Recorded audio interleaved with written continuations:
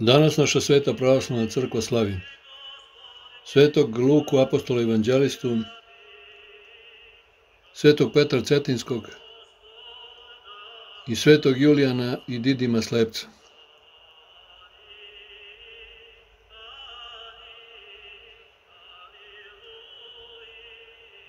Sveti Luka apostol evanđelist, rodom iz Antiohije, U mladosti izučio Beša dobro grčku filozofiju, medicinu i živopis. U vreme delatnosti gospoda Isusa na zemlji, sveti Luka dođe u Jerusalim, gde vidi spasitelja licem u lice, čuje njegovu spasonosnu nauku i bude svedok čudesnih dela njegovih. Poverovavši u gospoda, sveti Luka bio uvršćen u 70 apostola i poslat na propoved zajedno sa Kleopom video vaskrslo gospoda na putu za Emaus, Luka 24. Po silasku duha svetoga na apostole, Luka se vratio u Antiohiju i tamo je postao satrudnik apostola Pavla, s kojim je putovao i u Rim, obraćajući u veru Hristovu jevreji i neznabošce. Pozdravlja vas Luka, lekar ljubazni, piše Kološanima apostol Pavle. Kološanima 4.14. Na molbu hrišćana napisao evanđelje oko 60. godine. Po mučeničkoj smrti velikog apostola Pavla, sveti Luka je propovedao evanđelje po Italiji, Dalmaciji, Makedoniji i drugim stranama. Živopisao ikonu presvete Bogorodice, i to ne jednu nego tri, a tako isto i ikone svetog apostola Petra i Pavla. Otuda se sveti Luka smatra osnivačem hrišćanskog ikonopisa. Po starost posetio je Liviju i Gornji Misir. Iz Misira se vratio u Grčku gde je nastavljao s velikom revnošću propovedati i ljude Hristu obraćati, bez obzira na svoju duboku starost. Napisao sveti Luka evanđelje i dela apostolska i oboje posveti Teofilu knezu Ahaje. Beša mu 84 godine kada ga zlobni idolopoklonici udariše na muke Hrista radi i obesiše o jednoj maslini u gradu Tivi, Tebi, Beotijskoj. Mošti čudotvorne ovoga divnoga svetitelja Behu prenesene u Carigrad u vreme cara Konstancija, sina Konstantinovog.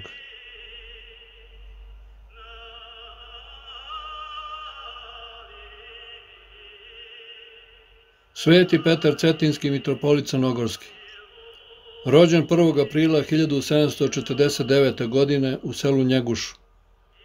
Stupio u čin monaški u svojoj 12. godini.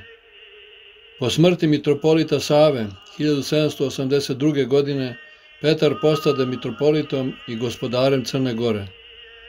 Sav svoj život, viteški i sveti, posvetio je svoj slavni muž svome narodu.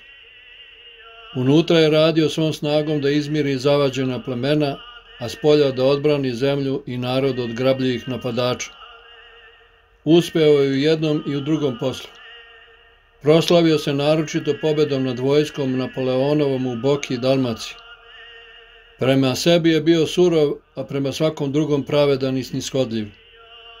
Živeo u jednoj teskovnoj keliji kao prost monah, iako je bio knez nad jednim narodom. Upokojio se 18. oktobra 1830. godine. Njegove čudotvorne mošti počivaju netljene u manastiru Cetinskom.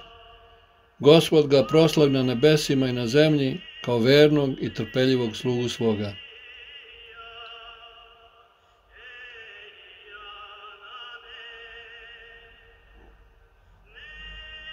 Sveti Julijan i Didim Slepac Sveti Julijan zvani pustinjak beše persijanac i seljak bez školovanja, ali zbog čistote srca sasud blagodati duha svetoga. Podvizavao se u kraj Eufrata u Mesopotamiji, imao dar vidovitosti. U sami čas kada pogibe Julijan Ostupnik, sveti Julijan to prozre duhom i objavi učenicima svojim. Njegov savremenik, sveti Didim Slepac u Aleksandriji, takođe provide duhom pogibiju Julijanovu. Beše na molitvi noću, kada mu dođe glas neba, Danas je nestalo cara Julijana, izvesti o tome patrijarha Atanasija. Sveti Anton je veliki veoma i uvažavao ovoga čudesnoga slepca Didima, koji imao duh vidovit, i svraćao je kod njega kad god je iz pustinje dolazi u Aleksandriju i zajedno s njim Bogu se molio. I sveti Julijan i sveti Didim, divne sluge Božje, upokojili su se posle 362. godine.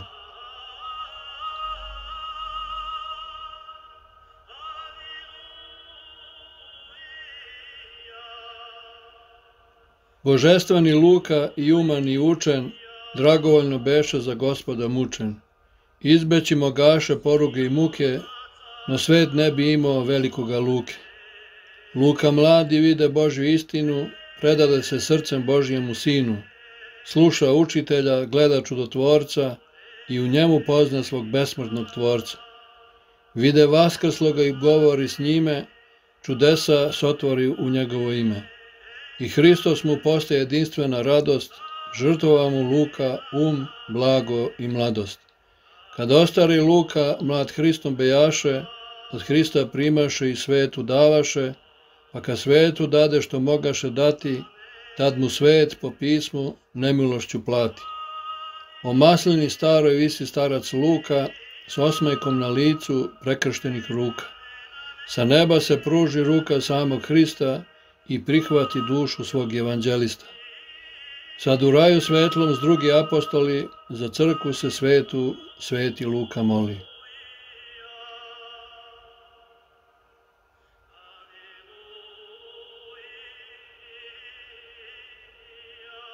Rasuđivanje Može li grešnik za deset dana iskajati grehe svoje? Po neizmernom milosrđu Božje može. U vreme cara Mavrikije beše neki čuveni razbojnik u okolini Carigrada. I u okolini prestonice i u samoj prestonici vladaše strah i trepet od njega.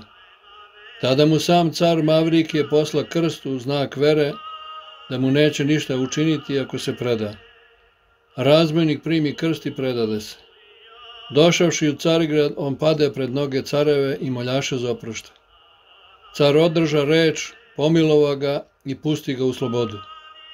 Na odmah potom razbole se razbojnik teško i predoseti da mu se približuje smrt. On se poče gorko kajati za sve grehe svoje i plačevno moliti se Bogu da mu Bog oprosti kao što mu beši car oprosti. Mnoge suze proli na molitvi, tako da mu marama, kojim suze brisaše, beše sva nakvašena suzama. I umre razbojnik posle deset dana plača i molitve. Iste noći kada on umre, vide lekar koji ga lečaše u snu viziju čudesnu. Kada razbojnik na postelji ispusti dušu, skupiše se oko njega nekakvi crnci sa mnogim hartijama na kojima behu ispisani gresi umrloga. Tu se javiše dva svetla anđela. Među njima postaviše se terazije i crnci veseli metnuše sve one hartije i njihova strana terazija preteže jer druga strana beše prazna. Šta ćemo mi metnuti, savjetovahu se angeli? Potražimo neko dobro u životu njegovom i obrate se u rukama jednog angela ona marama nakvašena pokajničkim suzama. Angel je brzo metnuše na svoju stranu terazija i njihova strana odjednom preteže sve one hartije. Tada crnci pobegoše žalosno urlajući, a angeli uzeše dušu i odnaše u raj slaveći čovekoljublje Božje.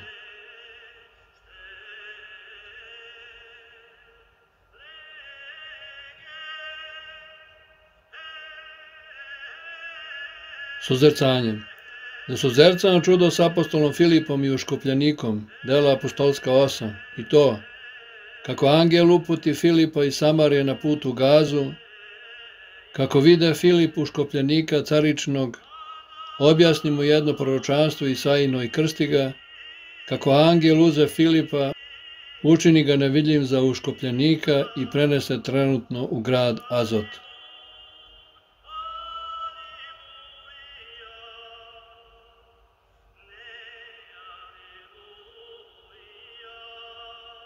Beseda o gresima jezika Rekoh, čuvat ću se na putevima svojim, da ne zgrešim jezikom svojim. Psalam 38.2 Greh jezika je najčešći i najbrži greh. Ko u reči ne pogrešuje, ona je savršen, veli apostol Jakov. Jakovljeva 3.2 Kada pokajnik pođe putevima Božjim, to jest kada počne živeti po zapovestima Božjim, neka se trudi prvo da jezikom ne sagreši. Tako je pravilo bio postio sebi i pokajani David. Naročito se rešio bio da ćuti pred protivnicima svojim. Zauzdaću usta svoja kada grešnik stane predame. Evo prekrasnog pravila za one koji se od greha leče. Kada ga optužuju, on ne odgovara. Kada ga klevetaju, on ćuti. U istini, šta pomaže i govoriti razjarenom nepravedniku koji Boga nema pred sobom? Ako mu o zlu govoriš, još više ćeš ga razdražiti, ako li o dobru, učinit ćeš ga rugačem svetinji. Pred Pilatom Hristos je čutao. Zar meni ne odgovaraš, reče mu Pilat. Šta da ti odgovori kad nemaš uši da čuješ ni razum da razumeš? Gle čutanje pravednika pred nepravednikom još može najbolje da utiče na nepravednika. Ostavljen da sam tumači čutanje pravednika, nepravednik ga može protumačiti na korist duše svoje, dok će svaki odgovor, beo ili crn, tumačiti na zlo i na osudu drugoga, a na opravdanje sebe.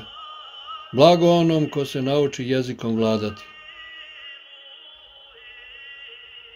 O Gospode Isuse Hriste, Bože naš, Ti koji se nam pokazao primjerom kako i kad treba govoriti, pokazao si nam primjerom kako i kad treba čutati. Pomozi nam duhom Tvojim svetim da ne zgrešimo jezikom. Tebi slava i hvala vavek. Amin.